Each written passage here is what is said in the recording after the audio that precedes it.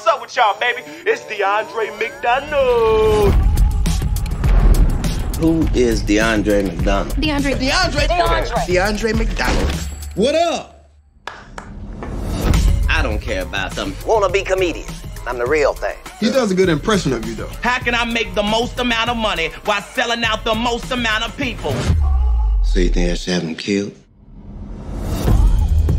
Dre, I work hard and I hold us down, but you do whatever you want. I'ma talk like Kevin Hart. Tell you why. Just because you're more handsome man than I am. I'm not doing whatever I want. I'm following my dream. You have a family. At a certain point, following your dreams is irresponsible. Dre, you got into the Laugh Out Loud showcase. We ain't going to LA, man, all expenses paid. Maybe the time spent there chasing your dreams Hey! is better off spent here chasing a paycheck.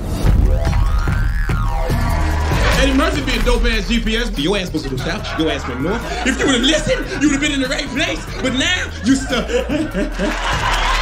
oh my my my my my. So you checked out my set. I peeped it. You weren't bad.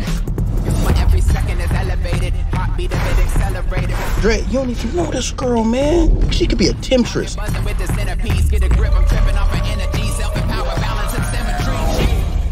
No. I ain't gotta worry about this. Ha! Big dog. Earth, Earth. Earth, Earth. You know what? I'm just gonna call her. You convinced everybody around you to believe in you, and you don't believe in yourself.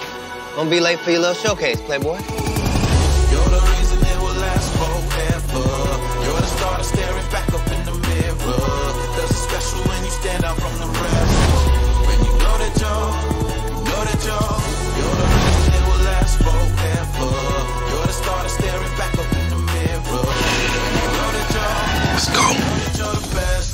You are pushing it now. I'm pushing it. You know what's pushing? Your hairline. That's one, two, way back.